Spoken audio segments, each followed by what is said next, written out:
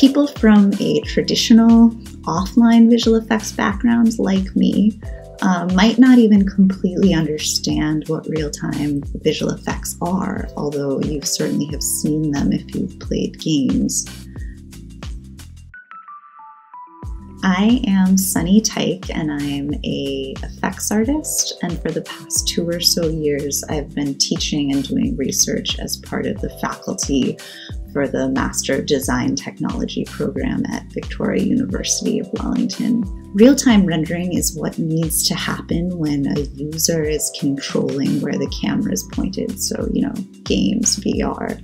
Since there's no way of predicting where any given user will choose to look at any given time, a game engine like Unreal needs to be able to generate those images on the fly, kind of so quickly that to the viewer it'll appear seamless.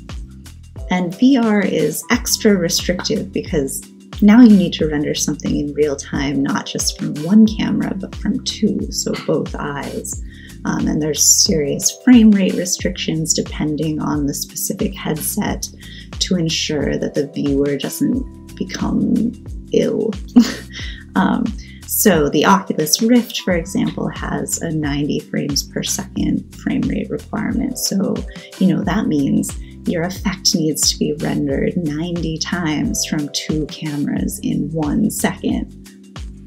So, the challenge in doing real time effects in VR is really in figuring out how to give something as much visual complexity as possible without tanking the frame rate.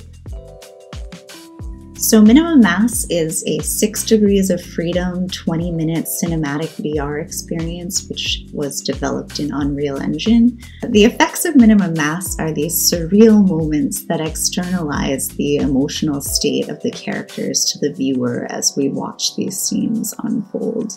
That was my challenge and focus on the project. Like, how do I bring as much complexity and realism as possible to these effects moments in VR.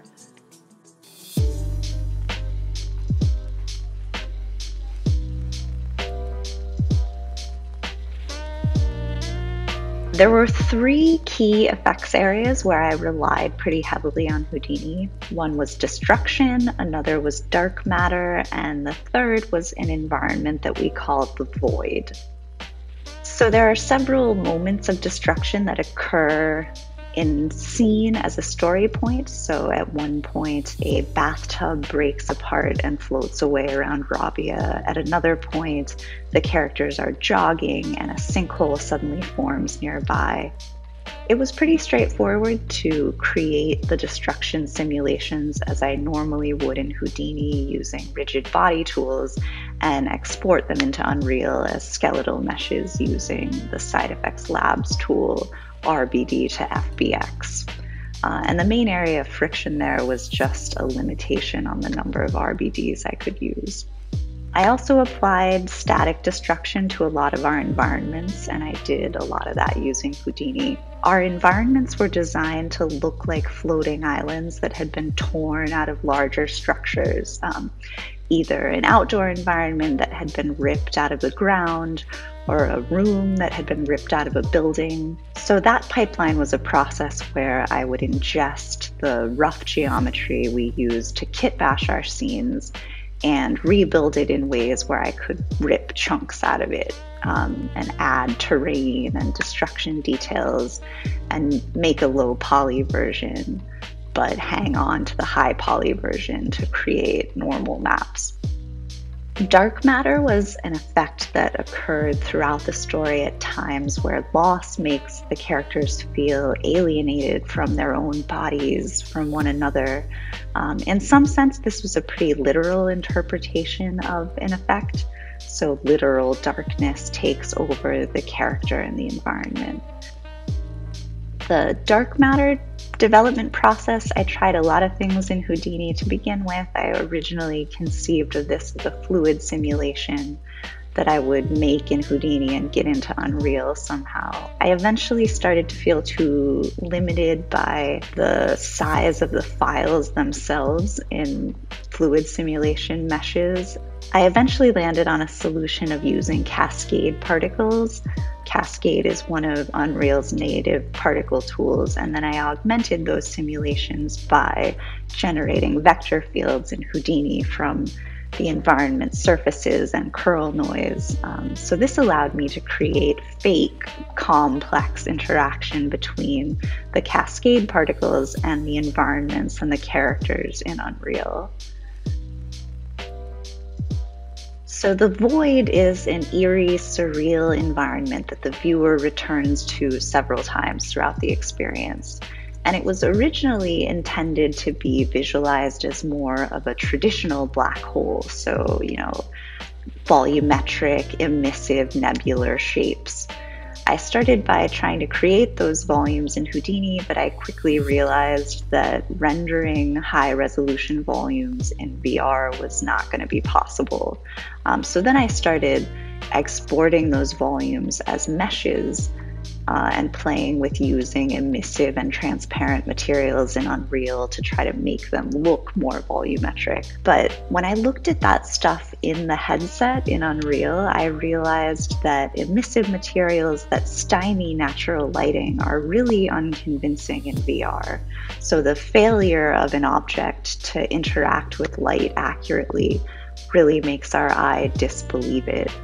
Uh, and this led me to design the structures in the void as more organic, opaque objects. I built those shapes in Houdini using curves and curl noise, and then I brought those into Houdini as just straight up meshes. But what was so interesting to me here was that the medium of VR itself led me to design the environment in a more organic way than I had originally intended. So it made it more womb like, and that actually resonated much more clearly with the themes of the story, but that wasn't the intention. It was the design process that brought us there. So, Houdini was a totally invaluable tool for making the shape and the behavior of these effects uh, visually complex in Unreal both because it's the tool that I'm familiar with and the language that I'm fluent in, um, but also because after having done a pretty deep dive into the techniques that are out there for effects game dev, the consensus seems to be that Houdini is often the most powerful tool to do certain things. And there really seems to be a growing interest in Houdini from the game dev community um, and the development of more sophisticated workflows between Houdini and Unreal is only making that interplay between the two softwares like even more exciting. In pretty much every single instance, I used SideFX Labs tools to export the data that I was making into something that was usable in Unreal. Um, and as a consequence of that, investigating the labs tools was just a really good starting point for me in understanding what was possible. So, Minimum Mass was created as a festival experience for the Oculus Rift S, uh, which is a tethered headset, although it's also playable on the HTC Vive. Over the past six months, Minimum Mass has been shown at venues like the Venice Biennale, Tribeca, Annecy. It isn't currently being shown anywhere, but we really hope it'll show in a few more festivals, and many of those make it available for people to view online. Um, and then eventually, we hope to find a more permanent home for it somewhere because we really want as many people to be able to download it and see it as possible. And we will absolutely be publicizing future opportunities to see it if you follow us on Instagram at minimum mass.